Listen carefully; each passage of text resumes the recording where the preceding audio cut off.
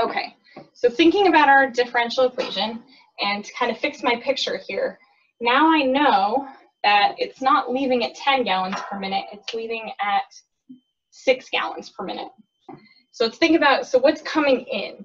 Well, it's still coming into the tank at 10 gallons per minute.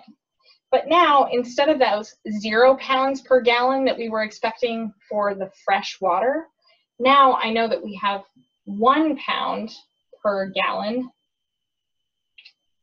in, wow, I think it'd be hard to put a pound of salt in a gallon of water, but I'm gonna ignore that for a minute. And now let's look about what's leaving. So we know that it's leaving at a rate of six gallons per minute. And this is where things get interesting, this term back here. Um, and I wanna squeeze that over just a little bit so I have just a little more space. So we've got six gallons per minute for the flow rate.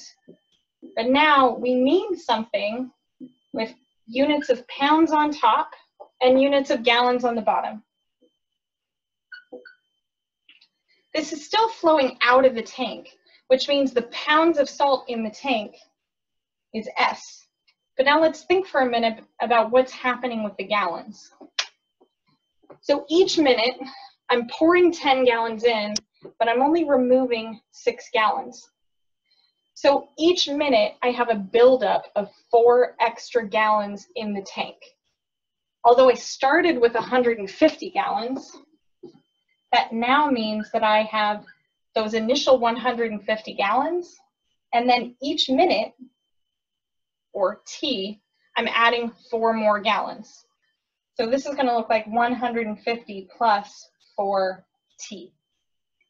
Ditching our units, I'm now looking at something of the form dsdt is equal to 10 minus 6s over 150 plus 4t.